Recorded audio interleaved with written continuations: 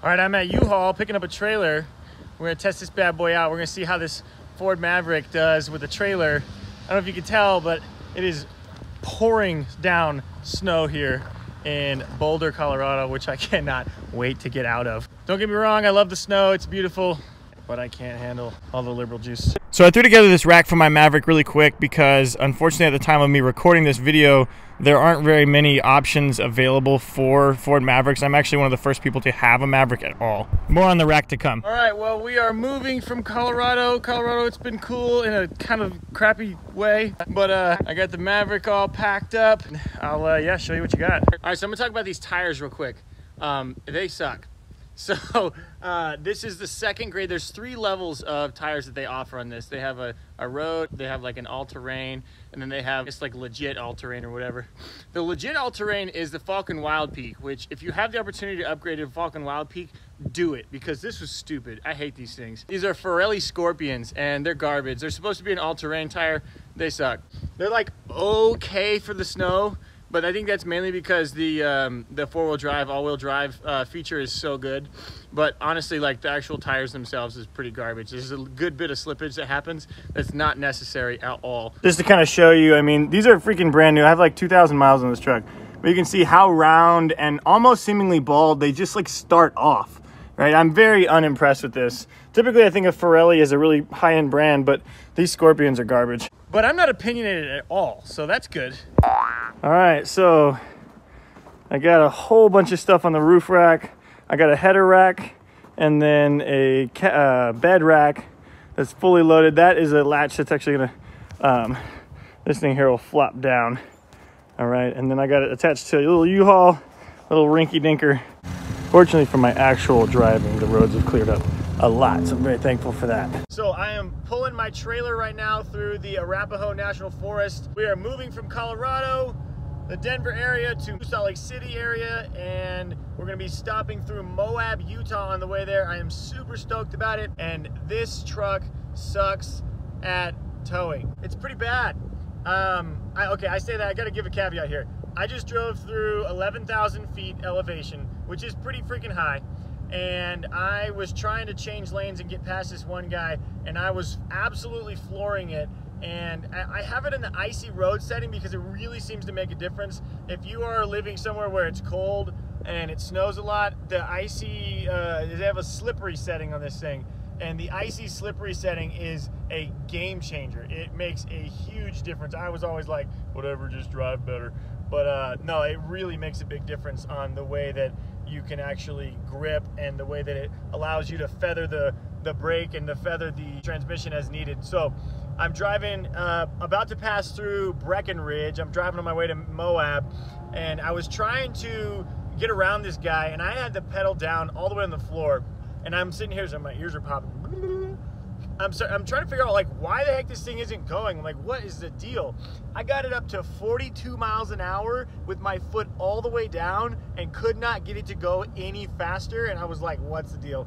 Granted, I have to give this caveat, 11,000 feet, and I was going uphill while doing that. All right, just stopped off at a gas station real quick in uh, Frisco, Colorado to uh, load this sucker up because good gracious, it's awful with gas while towing. It's like, I, I think it's normally like 25 miles per gallon and while towing right now I've been getting freaking 17 or something like that, which is, I don't know, man. I don't know. I'm driving through Vail currently, and I've noticed something really interesting. I'll flip it around so you can kind of see the slopes as I drive by. Something that I think is kind of interesting is I have actually, so the roads have been really well groomed as you can see, which is awesome because I've been able to keep the setting set to uh, the tow and haul setting on the Maverick. What's really been interesting about that is that it has made a massive difference on the gas mileage. I'm already up three miles per gallon from putting it on this tow haul package or uh, setting and it seems like in general the car just doesn't have to work as hard. When it needs the power it gets the power. Uh, not like a ton of power don't get me wrong. But when it's supposed to be uh, like just going flat it just levels it out. So overall it seems like it's way more efficient across the board and this is kind of interesting they may be onto something here. Okay, so the tow mode on this thing is really intriguing. When I'm going downhill, I'm at 10,500 feet elevation right now. When I'm going downhill, the transmission automatically goes into a lower, slightly lower gear. It just does it on its own. I can go into a manually go into a lower gear. It has like sensors that evaluate the rate, the uh, grade, and if I'm going downhill, you hear it gear down. Essentially help me maintain and and, and uh, establish control over the trailer while I'm hauling. When I'm going uphill, you hear it gear down again so that I can have the, the power that it needs to pull back uphill because it's got no power without it. So I'm, I, that's kind of cool. I'm, I'm kind of impressed with that. So when I switched it over to the towing setting or whatever they have on there, it made a huge difference.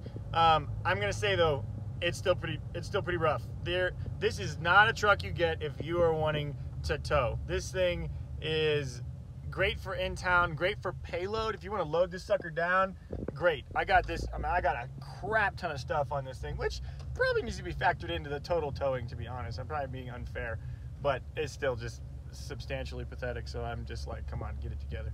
Get it together, car. Come on. In total, my assessment on this truck is essentially that if you are looking to haul horses or big, heavy stuff, it's just not going to make any sense for you to have a small truck like this.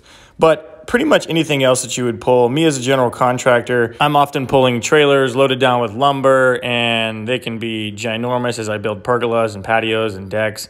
And this thing would be just fine. It would have no trouble pulling that kind of thing. Um, most of your in town, if you were taking dirt bikes to a show or to a race, you'd have no trouble with it. So, for the most part, primarily any use that a standard homeowner is going to need out of this thing is going to be no problem. Now, as soon as you get into horses or boats or RVs, you're screwed, and this is just not not an option for you at all. Well, we made it to Salt Lake City. My wife drove the Ford Transit and she's telling me that she was at 16.8 on her gas mileage. Well, I was at 17.3 in this thing, so hands down in the future, I will 100% be towing with the Ford Transit. Now, as a contractor, I have to say, I do feel I do feel better knowing that it's capable. It went through a blizzard, it went through the desert, it went through mountains, I do feel like it's capable should I need to tow something or should I be on a job site or need to pull, you know, a whole bunch of wood, like you know, 100 pieces of like two by four by 16s. Um, I have no question that it'll get to, to and from the job site really well without any problems. But um, if I were to have a pick, it would definitely be a bigger truck for purpose of towing. But you know that going into it. You just have to know that going into it. You're not buying this thing for the towing capability. You're buying it because you want something that's small, nimble. It's fun to drive. It's functional. Man, I can't say enough the gas mileage.